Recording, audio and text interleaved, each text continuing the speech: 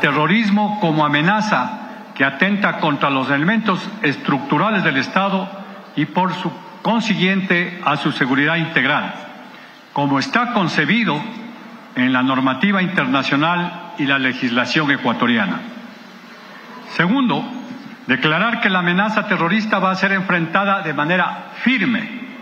con la participación de todas las funciones e instituciones del Estado,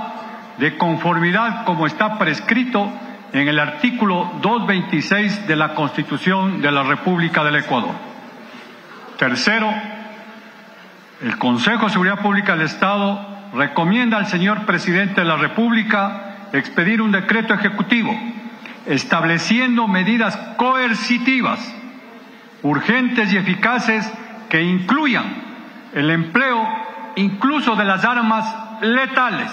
de las armas letales para combatir esta grave amenaza que afecta al pueblo ecuatoriano.